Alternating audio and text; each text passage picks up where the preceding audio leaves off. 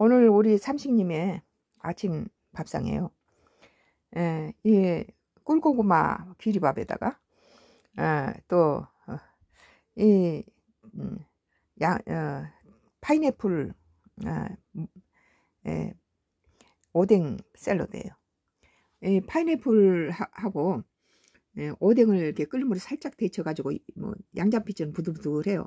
거기다 이제 집에서 나는 당감, 부추, 양배추, 당근, 예, 예, 뭐 여러 가지 이제 재료들 자색 고구마 이런 것들을 넣어서 음, 샐러드를 했어요. 제, 제 주료 제일 중요한 재료는 파인애플하고 어, 뭐이 어, 오뎅 샐러드예요. 어, 머스타드하고 어, 어, 음, 마요를 어, 1대1로 이렇게 섞어서 이렇게 해도 좋고 또 이제 여기다는 음, 이제 우리는 유자 에기스에다가 어, 에, 간장하고 식초 넣어서 소스를 만든 다음에 어, 여기다 끼얹어도 좋아요.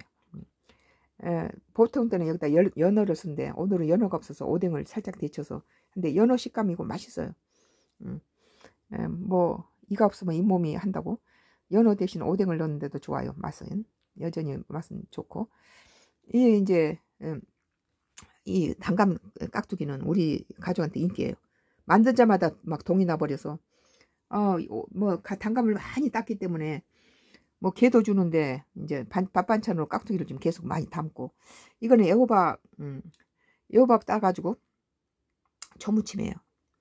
어, 낙지라든지 오징어를 넣어도 좋고 이렇게 그냥 애호박만 어, 이렇게 해도 새콤달콤하고 입맛 돋고 아유 이걸 많이 해가지고 냉장고에 치겁게 이렇게 에, 저기 차갑게 해서 에, 먹을 먹을 때마다 이렇게 꺼내 먹어도 좋아요.